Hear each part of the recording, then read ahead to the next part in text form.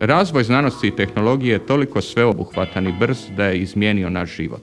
Pogledajte svoj svakodnevni dan. Sjednete se za svoj radni stol, uključite računalo, komunicirate sa prijateljem koji se nalazi na drugom kraju svijeta, izmjenjujete misli, ideje, dokumente i više zaista nije bitno gdje se nalazite. Prvi inženjeri svijeta su bili oni koji su bilo što što su mogli uzeti iz prirode i prilagoditi svojim potrebama, to uspjeli napraviti. Od kosti sjekiru, od kamena nož i slično. Inženjeri u modernom društvu su tvorci novoga. Stvaraju nova dobra, nova rješenja i da ljudima osiguraju bolji život. Inženjer treba biti čovjek koji je prvo znati željan. Mora znati razmišljati konkretno i riješiti problem. Kada bi nekom magijom klonili inženjere i rezultate njihovog rada iz današnjeg društva, mi bi se istog trenutka vratili u kameno dobu.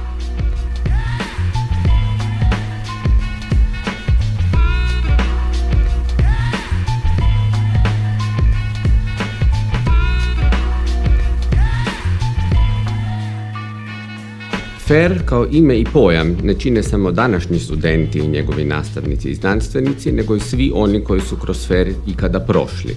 Pokojni profesor Anton Dolenci, osnivač tvrtke Končar, profesori Požar i Wolf su među najzaslužnijima za elektrifikaciju bivše Jugoslavije.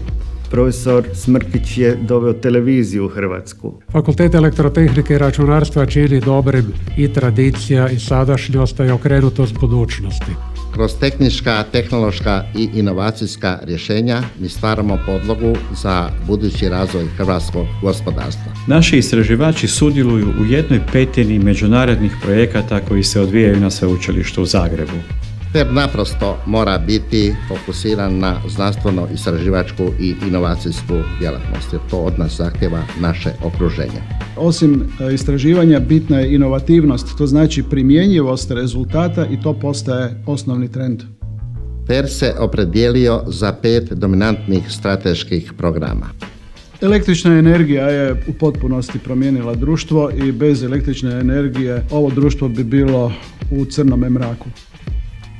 Najveći izazovi inženjerima i znanstvenicima u energetici danas su povećavanje efikasnosti, smanjivanje potrebe uopće za energijom i razvijanje novih izvora energije koji će manje zagađivati okoliš i neće ispuštati stakleničke plinove. Uz komunikacije i računarstvo energetika je danas sigurno najizazovnije područje u tehnologiji. Dodatan izazov predstavlja zapravo povezivanje svih tih triju područja. Projektiranje i upravljanje elektromotornim pogonima kao i projektiranje strojeva i učinska elektronika su vrlo bitne u industriji i jedna od osnovnih djelatnosti su ovog fakulteta. Ove djelatnosti su ključne u potpori fera našoj industriji. Robotika je znanstvena disciplina čiji stupanj razvoja djelomično pokazuje i tehnološku razvijenost društva. Što je razvijenija robotika, to je razvijenija i država. Očekuje se da će robotika značajno promijeniti život ljudi i da će svako kućanstvo imati poneki robot koji obavlja neki koristan posao.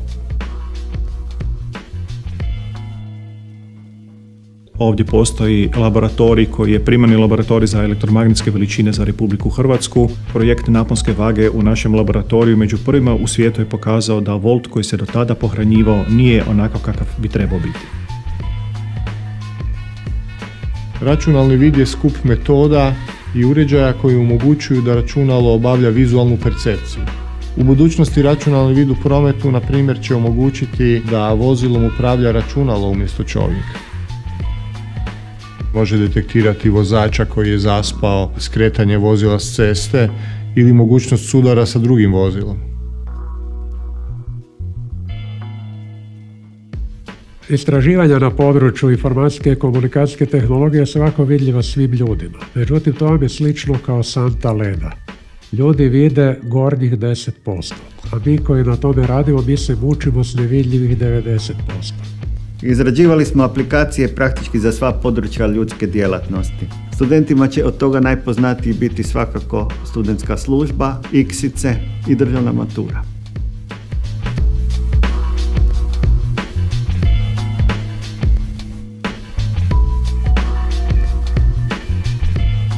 Mi se bavimo mikroelektronikom i nanoelektronikom. O tome se još može gledati na filmovima i čovjek nema osjećaj da se to radi u Hrvatskoj. Međutim, to se radi u Hrvatskoj na feru. U području elektromagnetskih metamaterijala i nanoelektromagnetizma mi u stvari imitiramo prirodu. Mi gradimo nove strukture koje nam omogućuju potpuno novu fiziku koja do sada nije postojala. Ljudi obično reagiraju s riječima to ne možemo raditi u Hrvatskoj, nemamo tehničke uvjete. Ja se s time ne bi složio. Zgodno je primijetiti da je na feru razvijen posve novi tip tranzistora koji je procesiran u Japanu, a sada se taj tranzistor mjeri na feru, što djeluje apsolutno nevjerovatno za naše uvjete.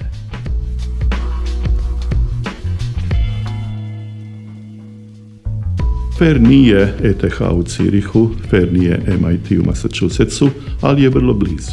FER je poseban po posebnosti naših studenata koji upisuju ovaj fakultet. Nama dolaze zaista najbolji srednjoškolci iz Republike Hrvatske, a nadam se u skoroj budućnosti iz našega okruženja. Posebno nam je zadovoljstvo da FER biraju i mnogobrojni uspješni državni natjecatelji iz matematike, fizike i računarstva. Mladi ljudi upisuju ovaj fakultet zato jer na fakultetu prije svega nauče misliti. Na feru se velik dio nastave odvija u praktičnom obliku jer je danas nemoguće inženjersku edukaciju provesti bez praktičnog rada u projektima.